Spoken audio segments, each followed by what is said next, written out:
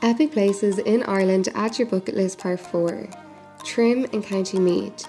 It's home to Trim Castle, which is one of the largest standing castle ruins in the country.